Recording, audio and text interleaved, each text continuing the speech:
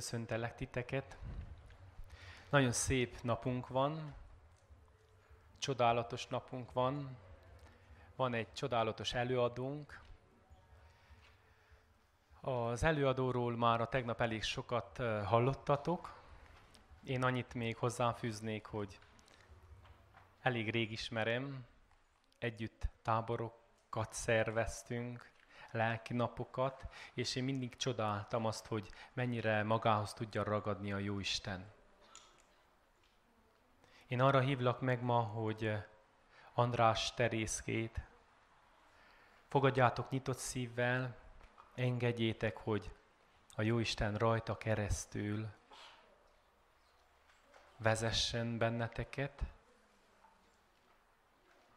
és most arra hívlak meg, hogy miután Terike kijött, kijött,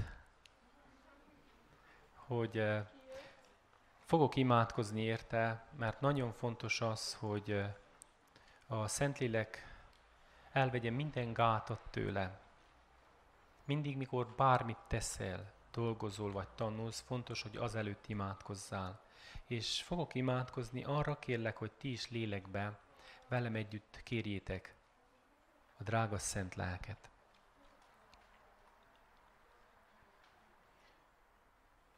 Mennyei atyám, köszönöm, hogy kiválasztottad Terikét, hogy elhívtad a szolgálatra.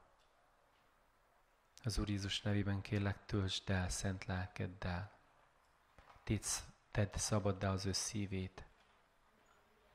És árasz ki szent lelkedet mindannyiunkra, hogy adjon nekünk nyitottságot, éberséget arra, hogy be tudjuk fogadni a Te igédet. Jézus nevében. Amen. Köszönöm szépen Lati Tisztinek, plébános úrnak. Nekem tiszti marad. Szeretettel köszöntelek titeket ma reggel is. Örülök, hogy ilyen szép számban összegyűltünk. És uh, mielőtt bárminek is neki rajtolnánk, az lenne a kérésem, hogy ma miközben itt jöttem, mentem, nagyon sok csókolom, röpködött, nagyon kedves.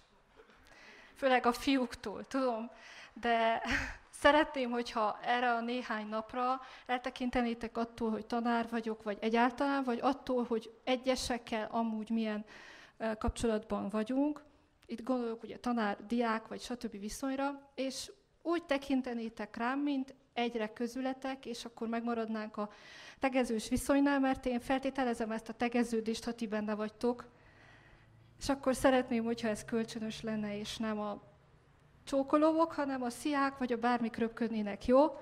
Úgyhogy most röpködtethettek pár sziát felém. Jó, sokkal jobban hangzik. Hó. Jó, hogyha ezt letisztáztuk, akkor tegnap este azt a kérdést szegezték nekem, hogy milyen elvárásaim vannak ezzel a néhány nappal, ezzel a találkozóval kapcsolatban, és én most azt, arra szeretnélek titeket megkérni, hogy egy percben mellette dűlővel, um, mielőtt bárminek nekilendülnénk, picit oszd meg, hogy mit vársz el. Nem kell föltétlenül a témára gondolni, de lehet arra is, én már kiválasztottam azt a motót is, hogy Istennek terve van veled, a mai nap picit erről lesz szó, de neked milyen elvárásaid vannak, te mit vársz el? Magadtól, Istentől, a találkozótól, úgyhogy van rá egy percet, hogy a melletted lévővel ezt gyorsan megbeszélt.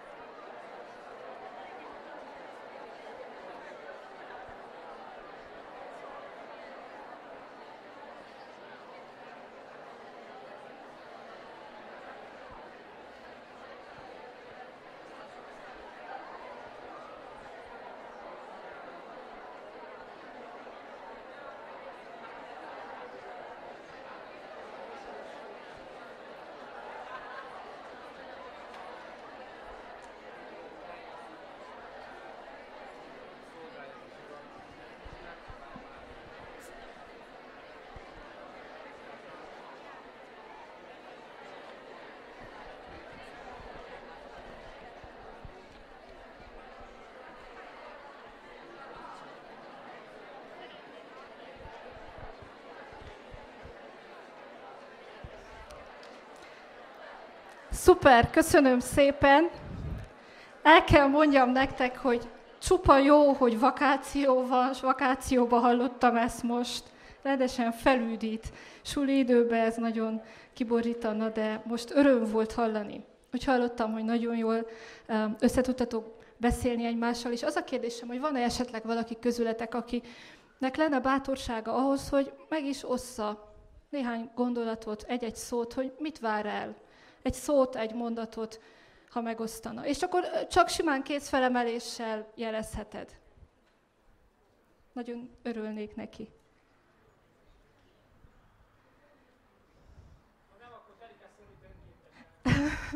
nem szólítok önkéntes jelentkezőket, hanem hiszem, hogy a szívedben ez fontos neked, és hogy, hogy, hogy te foglalkozol. Igen, Eszter?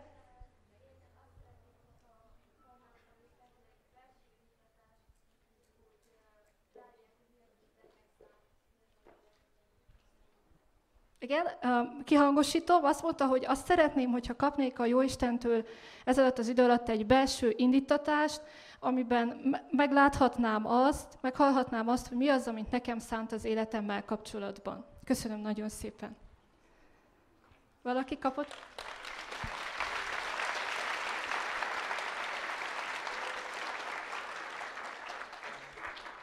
Van még valaki, aki így felbátrodott esetleg? Nagyon szépen köszönöm, és a, én hiszem, hogy a szívetekben érlelődik ez a kérdés, hogy mi Isten terve veled, velünk, veled személyesen, és a mai nap egy picit erről lesz szó, hogy mit is jelent ez az Istennek a terve van veled. Uh, és úgy, úgy köszönöm Eszternek, hogy megosztotta ezt a, ezt a gondolatot, ami benne megfogalmazódott, mert ehhez a kérdéshez, vagy ehhez a felkiáltáshoz, hogy Istennek terve van veled, gondolkodtam, hogy milyen kérdéseket tudnék fogalmazni, amit, amelyek picit kibontanák ezt a felkiáltást. És ilyen kérdések jutottak eszembe, hogy ki vagyok én, mi az életem értelme a Földön, miért élek a Földön. Uh, én nap mint nap tapasztalom azt, hogy, hogy, hogy főleg irodalom órán szóba jön ez a kérdés. És az emberek, vagy a diákok legalábbis úgy vannak vele, hogy hát élek, mert megszülettem, normális, azért élsz, mert megszület, megszülettél, mert nem is kérted ezt az életet, de kérdés bennem, hogy vajon, vajon ezért élek a Földön, mert megszülettem? Nyilván. De hogy ezen a születésen túl van célja az életemnek, van értelme az életemnek? Ki, ki vagyok én a nevemen kívül, a szakmámon kívül, és azzal együtt. Van, van valami még e mögött? Van valami még ebben, vagy, vagy megszülettem, és élek, és meghalok? És e, ezen gondolkodtam, hogy, hogy milyen köze van ezeknek a kérdéseknek ahhoz, hogy Istennek terve van velem. És mi az a terv, hogyha már terve van velem? Szeretném, hogyha meghallgatnánk egy dalt, és akkor onnan mennénk egy picit tovább. Lehet, hogy sokan közületek ismerik már, és lehet, hogy nem, lehet, hogy újat fog mondani, lehet, hogy most nem fog jelenteni számodra semmit, de a kérésem az, hogy bárhogy is vagy vele, hallgass végig figyelmesen, mert lehet, hogy Isten már, már üzenni akar valamit ezáltal.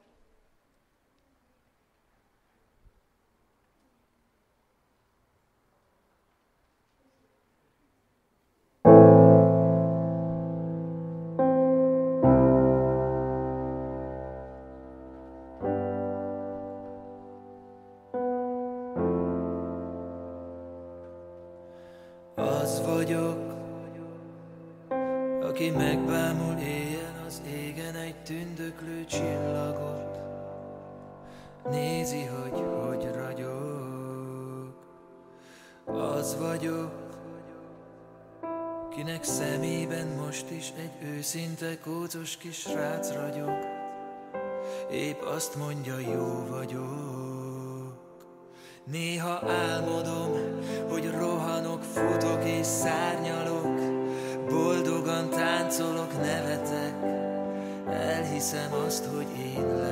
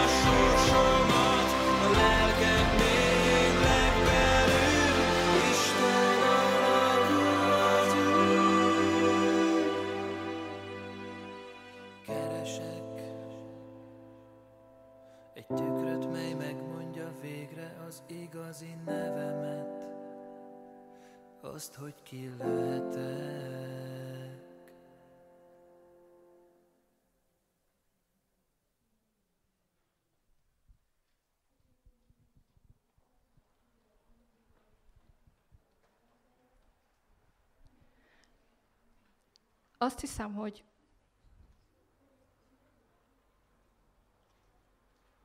hogy ebben a dalban um, bele van sűrítve mindaz, ami, ami nap mint nap foglalkoztat. Az, hogy um, mennyit ér az életem.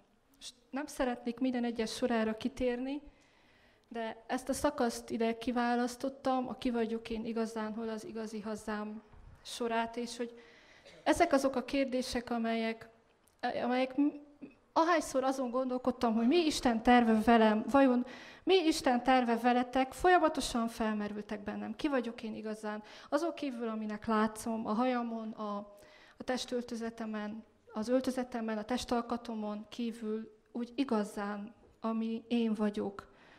Mennyit ér az életem azon kívül, amit keresek, amin van, ami a tulajdonom, amit birtoklok, mennyit ér azon túl, csak úgy szimplán, mesztelenül. De a legjobban, ami, ami érdekes volt nekem ebben a szakaszban, az az Isten alakú űr. Ezen gondolkodtam. A lelkem mélyén legbelül Isten alakú az űr, hogy, hogy hogyan ragadhatjuk meg ezt. Hogyan tudjam nektek ezt megragadni, és hogyan tudjuk ezt megérteni, hogy mit jelent ez az Isten alakú űr. Ja, az azt feltételezi, hogy mindannyiunk lelkében űr van. Hát dehogy van űr. Hát teljesek vagyunk, nem? Megvan mindenünk. Szépek vagytok, fiatalok vagytok, jól öltözöttek vagytok, elegánsak vagytok, modernebbnél modernebb. Itt csak, ha végignézek, a, hát egy jó nyaralás kijönne ebből a felszerelésből, amit elől van, telefonjainkból. Nem sorolom tovább a kütyüket, de tudjátok. Hát akkor hol az űr? Milyen űr? Milyen űrről beszél itt a dal? És gondolkodtam rajta, hogy milyen űrről beszélhet. Hát nincs tele a szívem, nincs tele a lelkem, de hát tele van, mindenem megvan. És ezzel gondolkodtam, hogy mi ez az űr. És a, a, utána arra, a, közben arra döbbentem rá, hogy hogy függ össze ez azzal, hogy, hogy boldognak érzem magam az életem értelmével. És, és hát azt hiszem, hogy mindannyian azt tapasztaljátok, és tudjátok, hogy amire a legjobban vágyunk, az az, hogy szeressenek. Bármennyire nem mondjuk ezt ki, néha ciki.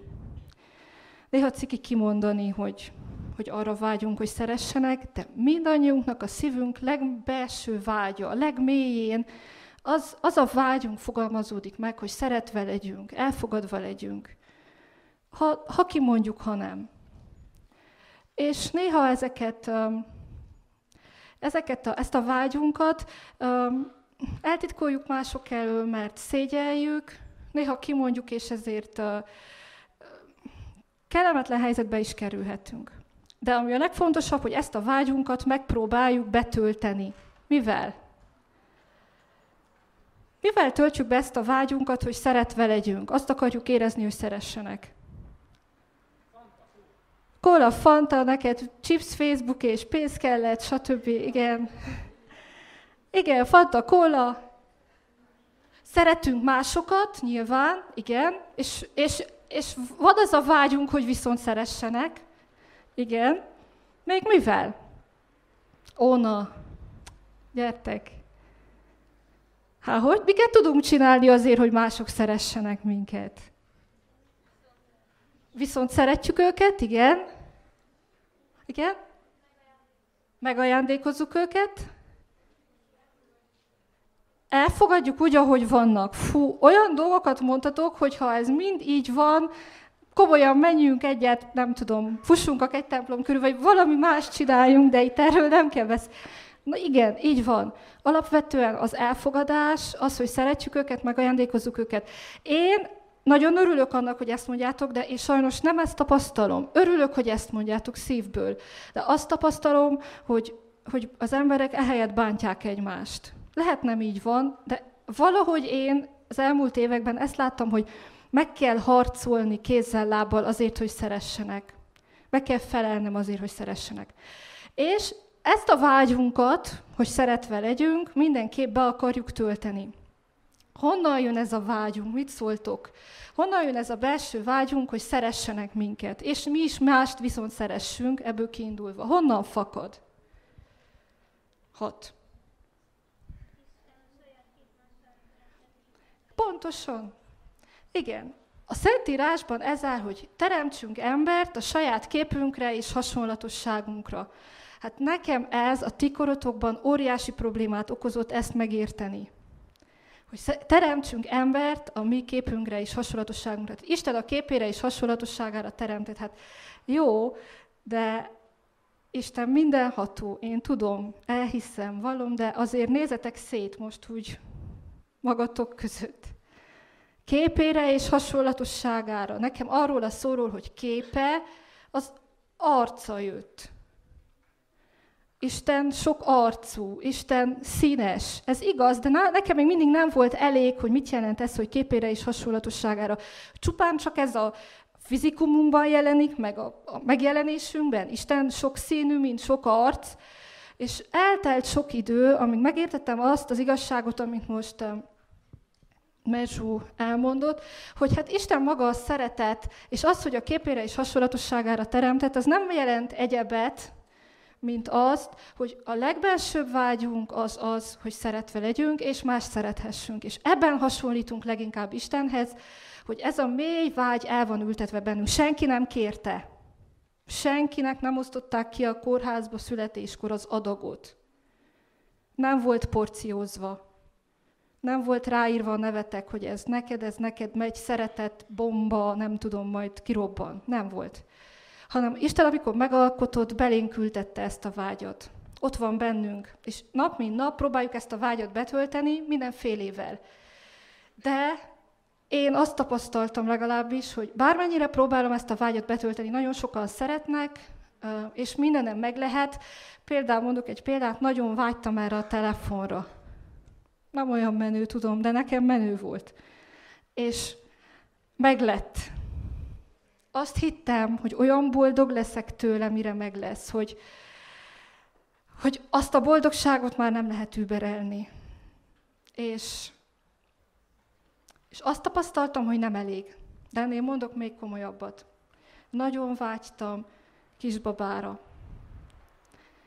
És azt hittem, hogy azt a boldogságot, amit az a kisbaba hozhat az életembe, hogyha az meg, na de legyen telefonom, legyen laptopom, legyen mindenek legyenek meg, de ha meg lesz az a baba, már ott lesz a hasamban, akkor an, azt nem lehet már. Az lesz a boldogságnak a vége. ott van vége a világnak, nincs tovább. És tudjátok, hogy minden egyes ilyen alkalommal, amikor egy vágyam teljesült, mire döbbentem rá? Hogy se a telefonom, se, se a tabletem, se még a kisbabám se nem Isten alakú. A telefon telefon alakú, a tablet tablet alakú, sorolhatnánk tovább, hogy mi a szívednek a vágya, amitől úgy érzed, hogy boldog vagy. A kisbabám kisbaba alakú, és Isten alakú űrt a. Hiába próbálom oda bepazelezni. Találj be, találj be, ott egészítsd ki, tölts be az űrt, nem megy. Az a hely ott a fogantatásom óta Istennek van fenntartva, és meg kellett értenem azt, hogy ezt az űrt csak Isten tudja betölteni. Semmilyen másik tárgy, semmilyen másik személy, semmilyen, senki, bármennyire szerethet, bármennyire szerethetsz bárkit, ezt az űrt csak Isten tudja betölteni. Senki más. Mindig megmaradott egy pici rés, mert az neki van fenntartva, mert az ő képére lettél alkotva, és az csak általa lesz teljes. Nehéz volt, amíg a fejemből, a szívemig pedig rövid az út ahhoz képest elért ez, a, ez, a, ez az igazság, amíg megértettem, hogy, hogy erre a vágyamra csak Isten tud válaszolni. És akkor azt kezdtem keresni, hogy hogyan szeret Isten, hogyan tapasztalhatom Isten szeretetét. Mert hogy Isten szeret téged, ezt annyit halljuk. Én is annyit hallottam. Isten szeret téged. Jó, de de hogy tapasztalhatom ezt, hogy Isten szeret engem? Aztán a következő, hogy terve van veled? Jaj, persze, de szeret engem? Tehát e- engem, aki vagyok, a hibáimmal, a gyengességeimmel együtt is szeret. Már pedig a Szentírásban az áll, hogy te, a Zsoltárok könyvében az áll, 139-es Zsoltárban, hogy te formáltad bensőm, és már édesanyám méhében teszőtted a testem. Már onnantól kezdve elkezdett szeretni Isten. És ezt megérteni, hogy mit jelent az ő szeretete, nekem nagyon hosszú út volt. Elsősorban hosszú út volt azért, mert, mert azt hittem, hogy amit az emberektől tapasztalok, az az Isten szeretete is. És hogyha az emberek nem szeretnek, elutasítanak, akkor hogyan szerethet Isten, ha mi az ő képére vagyunk teremtve? Hogyha elutasítanak azért, hogy kinézek, amilyennek születtem, akkor, akkor hogy szerethet Isten, hogyha így alkotott meg, hogy engem mások nem szeretnek? Nagyon nehéz harc volt nekem az, amíg eljutottam attól a ponttól, hogy elfogadjam magamat, úgy, ahogy vagyok, egész odáig, hogy Isten úgy szeret, ahogy vagyok, és nem a tetteimért. Nagyon nehéz volt ezt megérteni. Mert milyen mondatokat szoktunk kimondani, összegyűjtöttem néhányat, csak úgy hallottam a folyosón, sokszor. És szeretlek, de ha még egyszer ezt mondod, én többet szóba veled nem állok. Nem sorolom tovább. Én szeretlek, de azért, ugye, szeretlek, és miért utána egy, egy feltétel. Egy feltétel. Ahhoz van kötve. Köszönöm szépen annak, aki mondta. Szeretlek, de... Na. Szeretlek, mert... Ez is jó. Nem azt mondom, hogy ne indokoljátok meg azt, hogy miért szerettek valakit. Nyilván tudjuk, hogy miért szeretünk valakit. Csak azt próbálom érzékeltetni, hogy az emberek szeretete, mert tökéletlenek vagyunk, bűnösök vagyunk, a mi szeretetünk az feltételekhez kötött. Bármennyire próbálunk feltétel nélkül szeretni. Én is elmondom, feltétel nélkül szeretlek, de azért jó lenne, ha mondjuk következőleg az oktidat betennéd a szemetesbe. Mondom a férjem, én tényleg szeretlek, csak jó lenne. Nem tudom egyszerűen elhallgatni, pedig úgy igyekszem. És szeretlek, de, de kértelek, hogy a macskának ott a ház mellett adj enni. Ugye muszáj oda tenni utána. Nem lehet enélkül. Ilyen tökéletlen az én szeretetem. Isten szeretete nem ilyen. Isten nem fűzi hozzá, hogy szeretlek, de szeretlek, mert szeretlek, ha, szeretlek akkor. Olvastam egy érdekes történetet, biztos sokan ismeritek. Lázár Erőnek a négyszögletű kerek erdőjéből van. Olvasta valaki közületek a Hát kötelező volt, azt hiszem, valamikor ötödikbe. Na, rég volt az, én tudom. Jó, na, ismerős, elmondom a sztorit. Elmondom nektek a történetet. Az a rész, amikor bemutatja a szereplőket az elején, és azt mondja, hogy ugye döm, de döm, miért csak annyit mond, hogy döm, de döm. És akkor a Romó, a fékezhetetlen agyvelejű nyúl meséli el, hogy az úgy történt, hogy döm, de döm egyszer megszeretette egy lányt. Igazán megszerette. És eldöntötte, hogy most elmegy, szembeáll vele, és azt mondja, hogy szeretlek. Semmi többet. És elindult az úton nagy lánggal a szívében, nagy hével a szívében, hogy most megtalálja azt a lányt, és elmondja neki, hogy szeretlek. De útközben mi történt? Találkozott két asszonyal, és az egyik azt mondja a másiknak.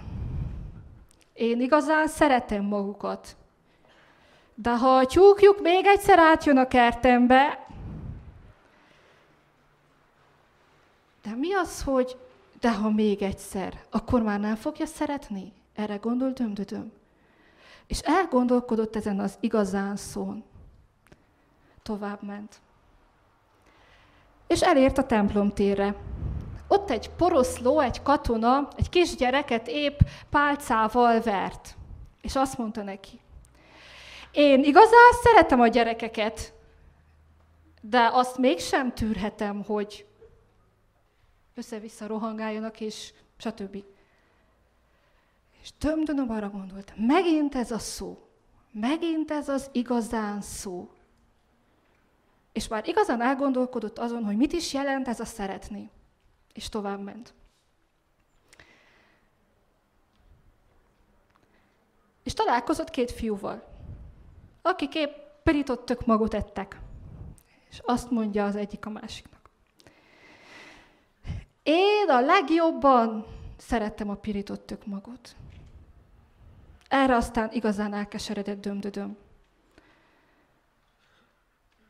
És amikor útközben, miközben a lány felé ment, hogy elmondja, hogy szereti, teljesen eltévejedett ennek a szónak a jelentésében. És odaér dömdödöm ahhoz a lányhoz, akit szeretett, és odaállt eléje, és azt mondta, hogy dömdödöm. És azóta a történet szerint dömdödöm csak annyit mond, hogy dömdödöm. És érdekesnek találtam, hogy, hogy, hogy mi emberek, hogyha valakit szeretünk, akkor nem tudjuk csak azt mondani, hogy szeretlek, hanem megtűzdeljük ezt még mindenfélével.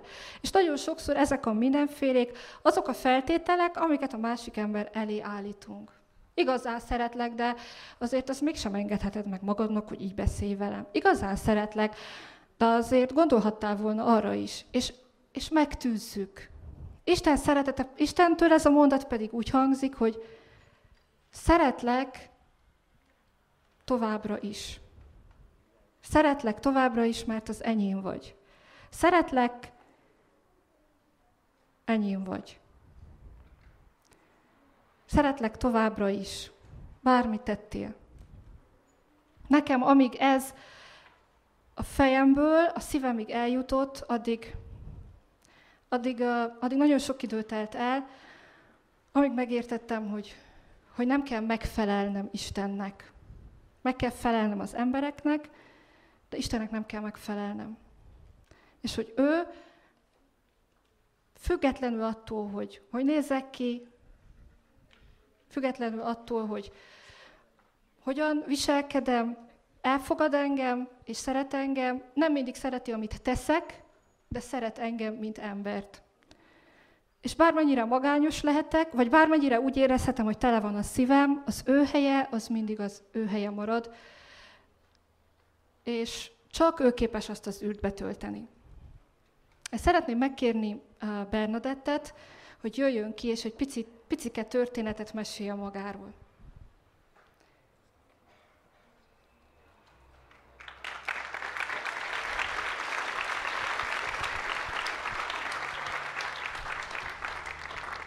Sziasztok! Ó, de furcsa így. Um, igazából először bemutatkozom. Benedett vagyok, Gyergyócsomafalváról jöttem, és én már itt vagyok péntek óta, önkéntes vagyok, kis csoportot vezetek. Igazából engem Tegnap kértek erre a feladatra fel, és úgy éreztem, hogy nekem erre több felkészülésre van szükségem, hogy ezt ennyi ember elé kiálljak, és egy olyat tudjak mondani, ami, amivel a szívetekhez tudok szólni, ami, amin keresztül tényleg ti is úgy gondoljátok, hogy ti is éreznétek, hogy Isten szeret. És um, úgy gondoltam, hogy azt, hogy elvállalom ezt a feladatot, nem az én dolgom, hogy eldöntsem.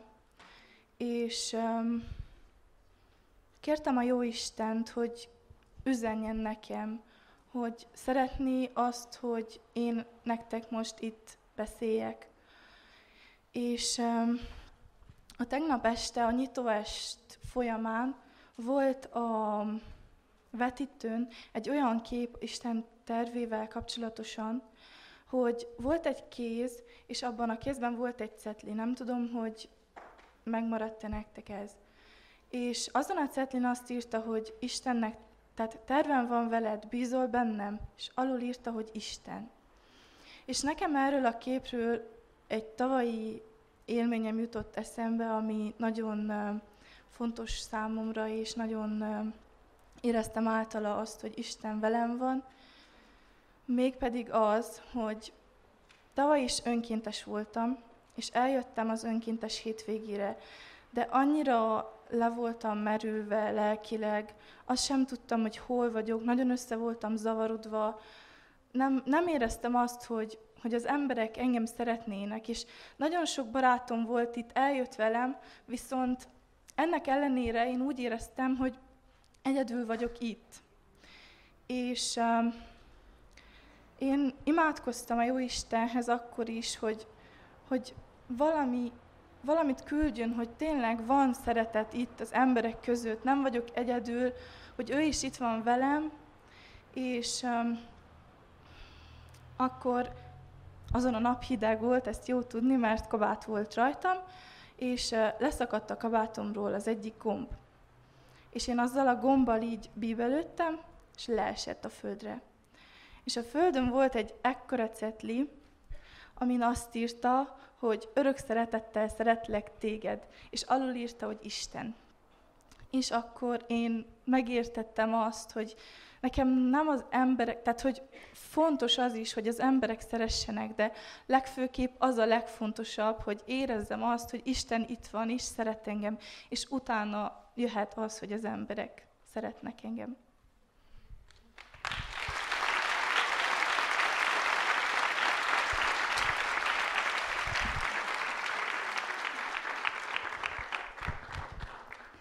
Köszönöm szépen, köszönjük szépen Bernadettnek, hogy megosztotta ezt a történetet.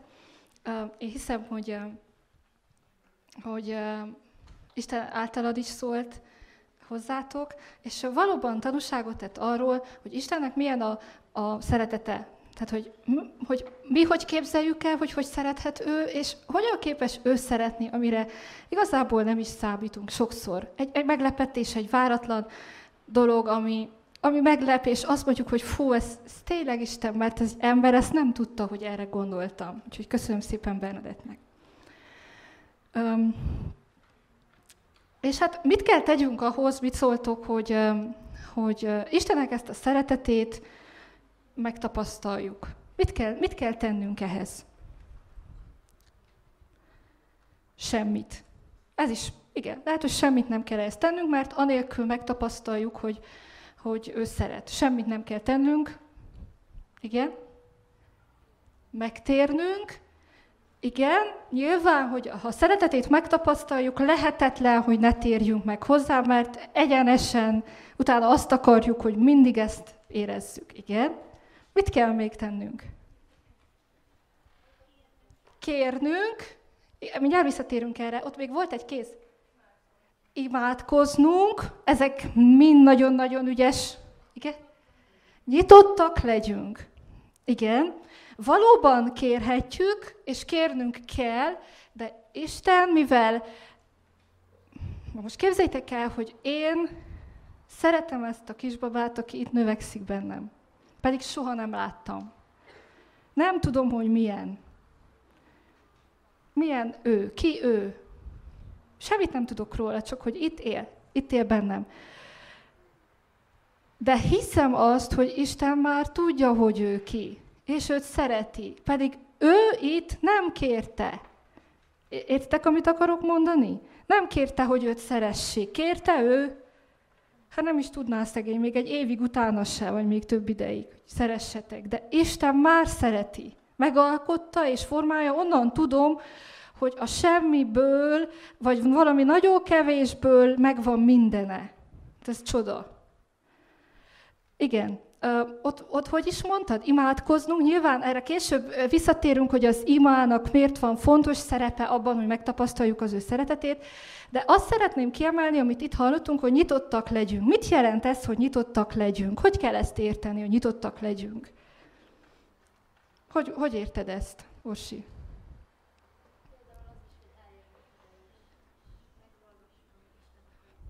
Igen. Például hogy eljövünk ide, és meghallgatjuk azt, amit Isten akar üzenni. Ugye az volt a motto, hogy ébredj és lépj. Ébredj. Hát ez a szó még most vakációban úgy, ahogy hangzik. Suli időben, ugye a vicc, hogy ott Facebookon láttam, hogy fekszik, ki van nyúlva az ágyba, betakarozva a feje a lábánál, össze-vissza bonyolodva az ágyba, és akkor kopogtatnak az ajtón, semmi válasz.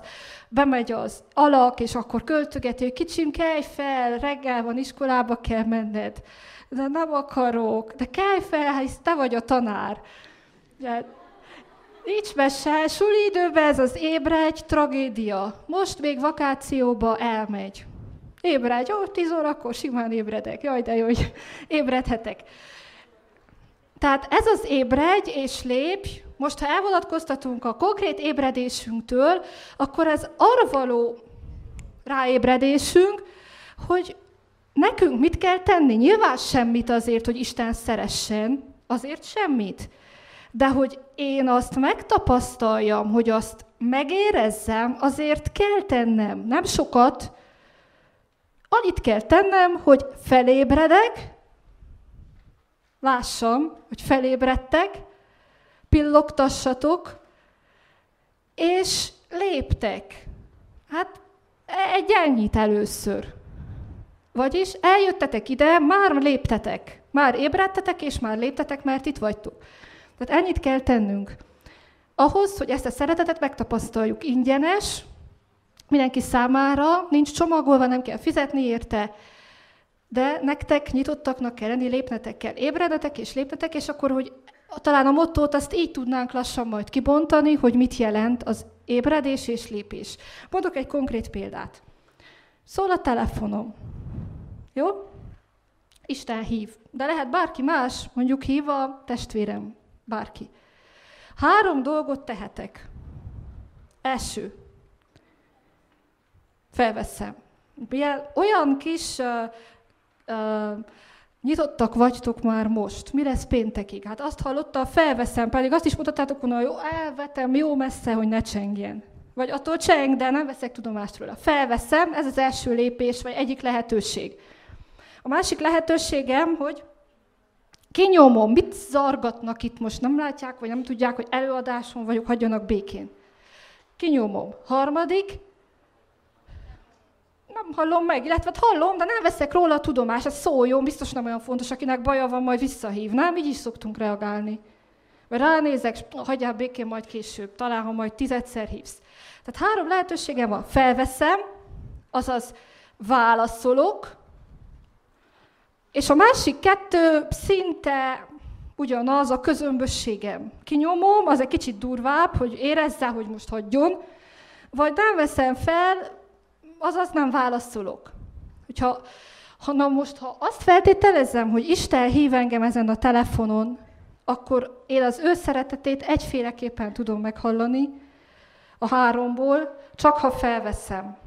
Nem nagy dolog, egy, egy mozdítás, egy lépés, egy új billentés, ennyi. Ki is tudom hangosítani, hogy még a fülemet se sértse. De ez az egyetlen opció a három közül, hogy meghalljam őt. A másik kettő az a közömbösségem, hogy talán később. Az is opció, csak folyamatosan tologatom a beszélgetés idejét. Most nincs kedvem, most erről a témáról nincs kedvem beszélni. stb. Tehát az egyedüli módja, hogy ezt a szeretetet meghalljam, az az, hogy reagálok. Nyitott vagyok, lépek. Felveszem vele a kapcsolatot, megkérdezem, miért hívtál? Mi a célod vele? Miért hívtál? Miért kerestél ma?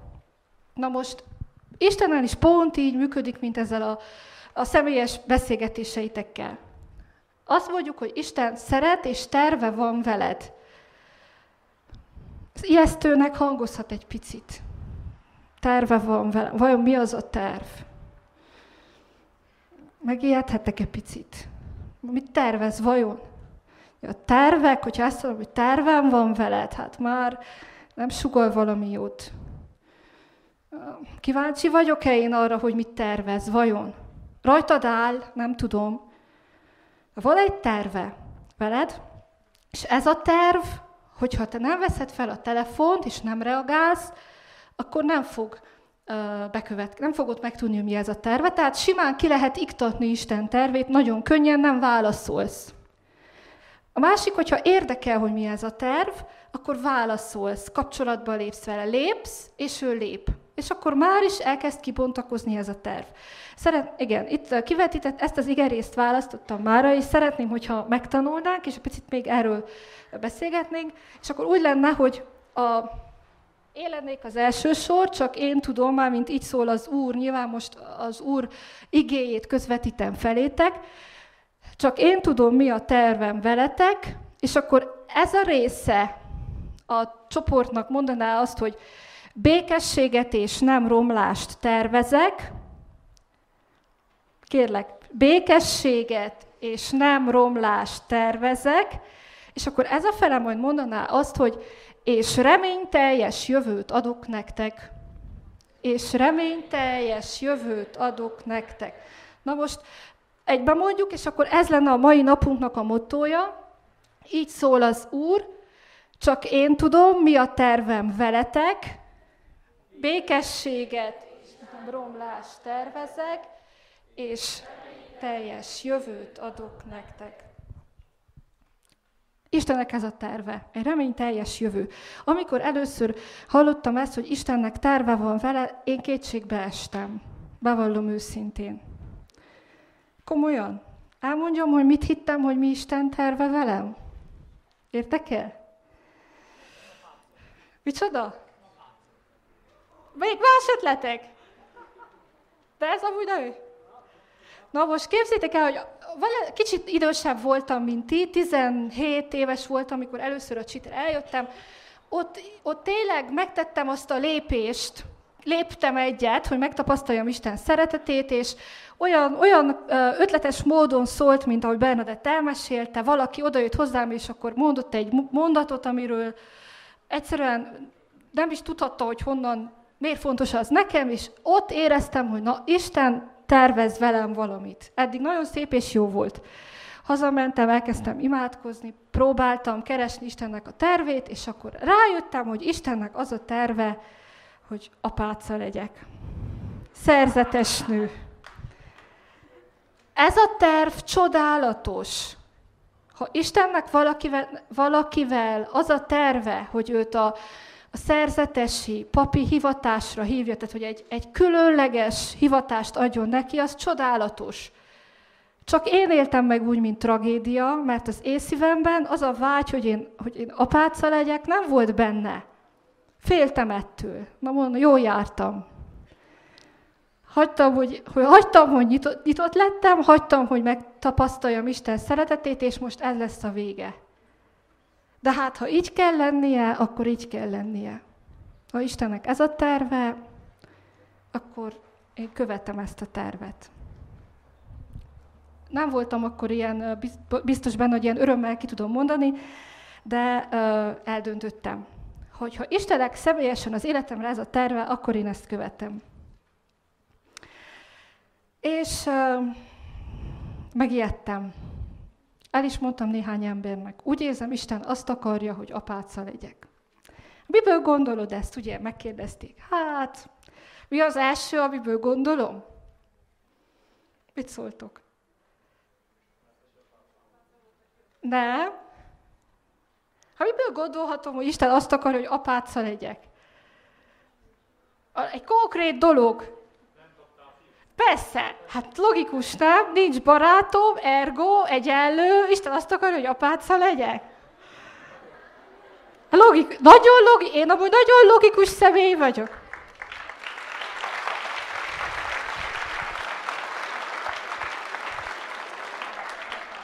Na, ez elég volt. Ezt kimondtam. Nincs barátom, és nem is volt. Vagy hát olyan futók, egy-kettő, de egyik se tartott. És ebből, ha most közületek valakinek nincs barátja, nem következik egyenes ágon, logikusan semmi.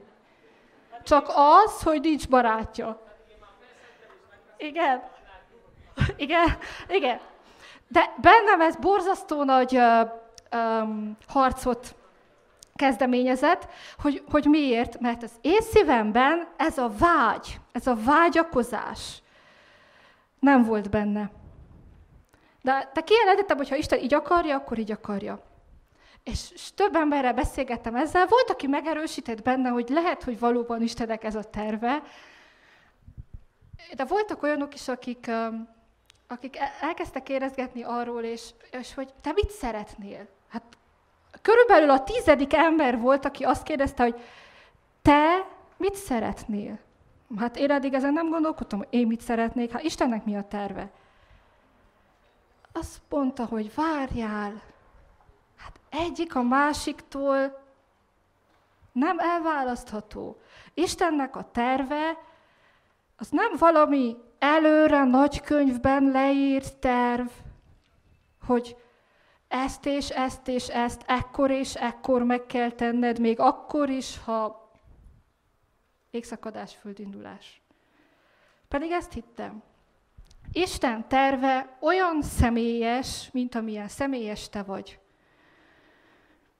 Mondhatnám azt, hogy mind egyformák vagytok, mert mind 14 és 16 év között vagytok, és mind fiúk és lányok vagytok, de ez egy akkora nagy hazugság lenne. Ha mindannyian annyira különbözőek vagytok, hogyha egy évig ülnénk itt, akkor se lenne lehetőség mindenkit személyesen megismerni. A jó hír az, hogy Isten ismer személyesen titeket, és van egy terve személyesen, ami nem egy nagy könyvben leírt terv számotokra, és ami ennél fontosabb, ez a terv nem ellenkezik azzal a vágyatokkal, ami nektek a szívetek mélyén megfogalmazódik. Isten a szeretet. Szeret téged feltétel nélkül, nem köti feltételekhez. És azt a tervét, amit számodra tartogat, azon túl a terven kívül, hogy a mennyországba juss, hogy vele legyél az örökké valóságban, ezen kívül a terven kívül van egy személyes terve számodra, amit beleírt a szívedbe. Mikor megfogantál, kicsi lelkedbe beleírta, azt szeretném, hogy békességet élj meg az életedben, és reményteljes jövőd legyen. Ez a tervem számodra. Egy reményteljes jövőt tervezek számodra, jót tervezek számodra, életet és nem halált tervezek számodra. És ez a terv pedig rajtad áll. Hú, ez jó hír vagy rossz hír, hogy rajtam áll? Hát pedig azt hittük, én is azt hittem, hogy Isten majd megmondja. Terike, gyere ide. Az a tervem, hogy te te légikísérő leszel. Én ezt szerettem volna. Persze azt nem mondtam, hogy nem apáccal akartam menni, hanem légikísérő. A sokkal vagányabb száldosni a levegőben. És azt hittem, hogy így fog működni, hogy ő megmondja, de Istennek a terve az nem egy konkrét utasítás. Légy szíves, csináld meg ezt, légy szíves, csináld meg azt, csináld ezt, csináld Ezt mi emberek csináljuk. Kiosztjuk, utasítjuk, ez lesz, ez a terve, így gondoltam. Istennek a terve egyszerű. Életet szán számodra, egy reményteljes jövőt. És hogy az mit rejteget, az rajtad áll. Hú. Ez jó hír vagy rossz hír? Jó vagy rossz? Jó, ez egy izgalmas kaland, hogy mit tartogat Isten számomra életet, reményteljes életet, reményt, de hogy az miben fogalmazódik meg, hogy az mit jelent, azt neked kell felfedezned. Nyilván kérdezheted Istent, hogy Uram, szeretnéd, ha a, a, úgy gondolod, hogy az jó ötlet lenne, ha nem mondhatod azt, hogy itt ülök a széken, amíg meg nem mondod, hogy mit csináljak. A ülhetsz. De neked is lépéseket kell tenned ahhoz, hogy ez a terv, amit veled elképzelt, kibontakozzon. Mert ez a terv tőled függ, a te döntéseidtől, a te akaratodtól. Isten nem fogja elvenni ezt, már pedig én úgy képzeltem el. Isten veled együtt lép, veled együtt működik. Elképzelte rólad, hogy milyen csodálatos életed lesz, de ez nem független tőled. Veled együtt tud lépni csak. Nem egy nagy reflektor, Isten terve, hogy kivilágítja az utat a nyeregig. Tudjátok inkább milyen? Egy zseblámpa. A következő lépés. Na, azt látom. De a következőt, azt majd ezután. Nem fogom látni egyből az utamat a nyeregig. Jó lenne, tudom, jaj, de jó lenne, már tudnám 30 év múlva. Nem tudom. Hanem azt tudom, hogy most itt vagyok, de Isten tervében abban, ami jó, és amit jót képzelt el rólam, abban ő kicsi, apró lépésenként vezetni fog, de mindig meghagyja a döntésemet, a szabadságomat. Hogy hogyan döntök. Én steward ezt akartam lenni. Elképzeltem örökké. Hogyan szolgálom ki az utasokat, hogyan billegek ott minden.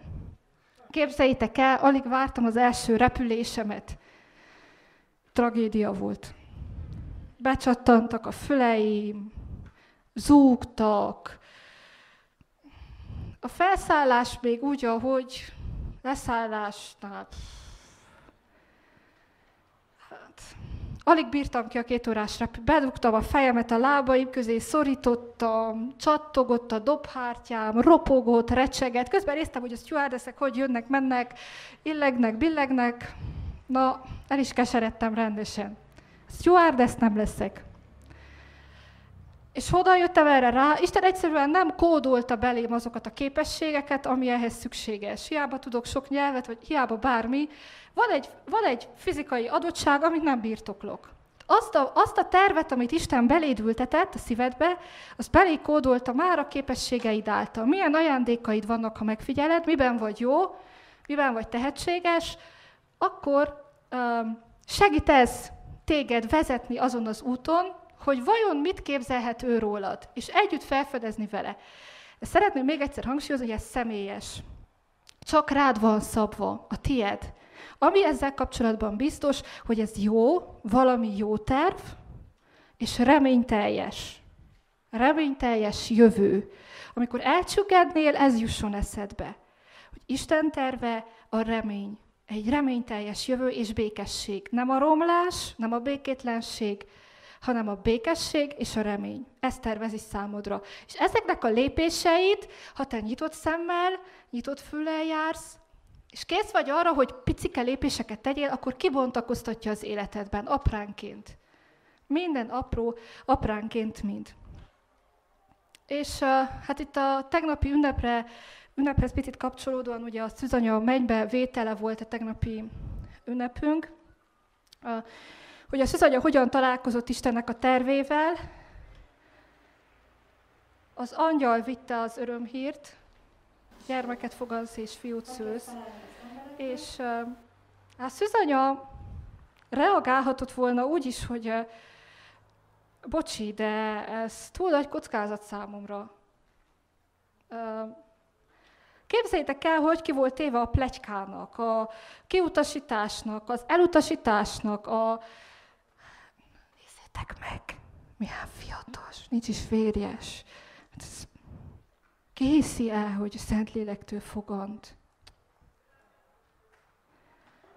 De a szüzanya a szívében el volt ültetve ez a vágy, és ő reagált, lépést tett uh, Istennek a kérésére, és azt mondta, hogy legyen nékem a te szavad szerint, a te akaratod szerint, és képes volt kilépni az elvárásból, képes volt kilépni a pletyka, az elutasítás, a megbélyegzésnek a, a tere alól, és vállalni azt, amit, amit Isten vele kapcsolatban elképzelt. Szóval arra szeretnék biztatni, hogy ne ijedjetek meg ezzel eltől, hogy mi Istennek a terve. Nem kell félnetek. Semmi olyat nem tartogat számotokra, amit ti nem szeretnétek. Isten terve a jó, minden, ami jó, innen tudod, hogy az, hogy drogozzak-e, azt nem kell megkérdezni, hogy vajon Isten ezt szeretné, mert ez egyértelmű, hogy nem. Tehát én itt egy olyan halmazon belül beszélek, amiben minden, ami jó tartozik bele, ami egészséges rád nézve, és reményteljes jövőt ad, és azon belül nem kell félnem, mert ő nem erőltet rám semmit. Szabad lehetek. És, megkér, és akkor a kérdés az, hogy neked mik az álmaid? Te mit szeretnél? Te mit tervezel? És megvizsgálnod magadban ezt, és megkérdezni, hogy Uram, te mit gondolsz arról? Úgy gondolod, hogy nekem való? És ezzel a lépéssel kezdődik, de ezt senki más helyette nem tudja megtenni. Arra szeretnélek kérni, hogy vegyétek elő a telefonjaitokat, akinél van.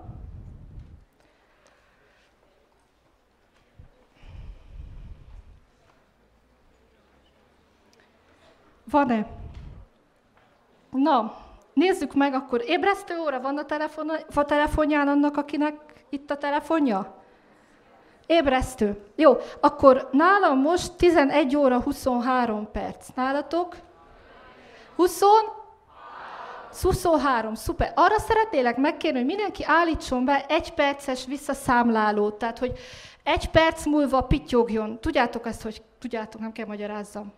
Jó, tehát hogy ne ébresztő legyen, hanem ez a visszaszámláló, hogy egy perc múlva elkezd pittyogni. Megvan-e? Időzítő, köszönöm. Azaz.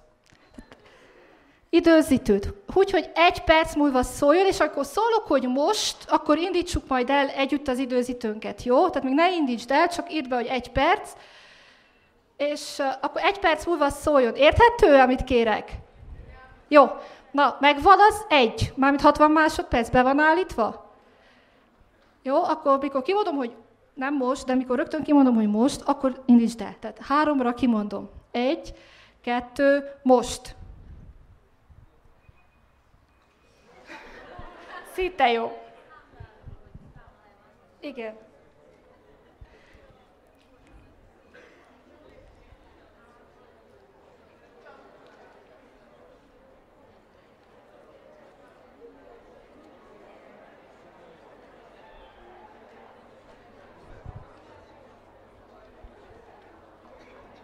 Lássuk, mennyi egy perc. Néha olyan hosszúnak tűnik, és néha olyan rövid.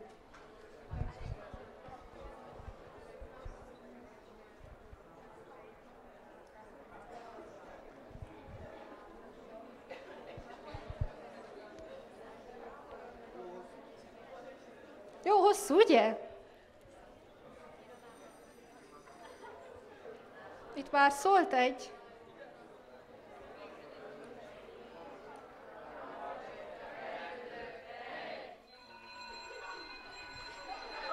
Zene, hagyjátok még be zenefüleimnek. Hogy, ha csak gyönyörködjetek benne.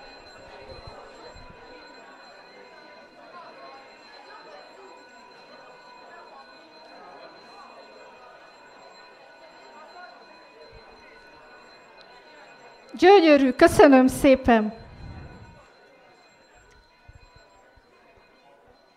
Isten most gyönyörködött ebben a pillanatban, és azért gyönyörködött, mert ő már tudta, hogy, hogy, hogy most ráfigyeltek ebben az egy percben, amiközben arra várakozunk, hogy megszólaljanak a telefonjaik. Azt szeretném kérni tőletek, hogy a hétvége folyamán Azért kértem a telefont, mert az mindig ott van, mert mindig megnézzük, hogy hány óra, hogy hívott-e, hogy írte, hogy jelzette, hogy csengette, hogy válaszolt-e, hogy reagált, stb.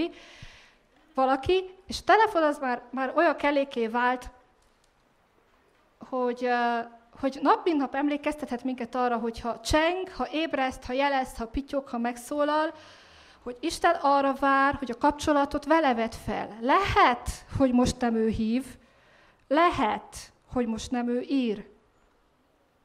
Lehet. De ő is lehetne. A kérdés az, hogy készen állsz-e arra, hogy válaszolj. Úgyhogy azért volt ez a rövid feladat, hogy amikor megszólal, jusson egy, hát ha eszedbe jut. Nem mondom, hogy jusson, mert nem akarlak utasítgatni. De remélem, hogy eszedbe fog jutni az, hogy Isten is lehet, aki szól, aki hív, és vajon mit akar, vajon mi a terve. Kész vagyok arra, hogy válaszoljak erre. Már mindenem megvan, ami ehhez szükséges, megalkotott, ajándékokkal halmozott el, képességeim vannak, belém ültetett mindent, ami szükséges. Kész vagyok-e erre? És ha kész vagy, játékból még lehet azt is mondani, hogy halló, itt vagyok. De a te döntésed ez, ez már a te lépésed. Az ébresztő megvolt, felébresztettelek, a lépés az a ti dolgotok, a ti hozzátett erőfeszítésetek. Arra szeretnélek megkérni, hogy a következőt.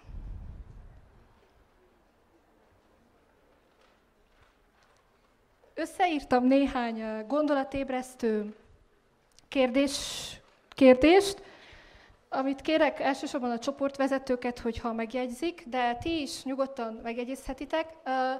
Ez nem kötelező kérdéssor, javasolnám, hogy ezekről beszélgessetek, ezekről osszatok meg tapasztalatokat, élményeket. Hogyha egy, egy kérdésed van, amiről úgy gondolod, hogy na, ehhez tudnék valamit mondani, akkor ahhoz bátorítalak, hogy ne féljetek a kis csoportok alatt magatokról megosztani, amit úgy, amiről úgy érzitek, hogy készek vagytok már rá, és egymásnak az az épülésére szolgál, hogyha megosztjuk. Ilyen kérdéseket írtam, hogy mi a célom, mi az életem értelme, milyen terveim vannak a jövőre nézve. Fontos, hogy ezekkel szembenéz, mert ez vezet téged a következő kis zseblámpa lépésben. Volt-e olyan helyzet az életemben, amikor tapasztaltam, tudtam, hogy Isten vezetett egy döntési folyamatban? Volt-e már olyan, hogy érezted, hogy jé, ez, ez jó, jó úton vagyok, Észrevetted-e akkor ezt, hogy vezet, vagy csak amikor visszatekintesz, akkor látod, hogy mint egy puzzle-ben úgy az életednek a részei a helyükre kerültek? Hogyha erről egy picit beszélgetnétek, még egyszer mondom, hogy ez nem kell ettől senkinek megijedni, most nem kell semmi, nagyon elkezd gondolkozni, hogy, hogy vajon mit fogsz mondani. Ne csinálj úgy, mint én, hogy 17 évesen a csites kis csoportokról leléptél, mert féltél magadat megosztani. Ez félelem, Isten azt akarja, hogy ott legyél, részt vegyél, ha más nem hallgass, és légy nyitott, úgyhogy bátorítalak, hogy vegyetek részt, és amiről úgy érzitek ezek közül, vagy bármi, ami bennetek feljött, hogy azt megmeritek osztani, akkor azt osszátok meg. És szeretném megköszönni a ti hozzáállásotokat, az, hogy bekapcsolódtatok, hogy válaszoltatok, hogy érdeklődőek voltatok, és minden egyes kis feladatban részt vettetek. Köszönöm szépen hálásan. Szép délután!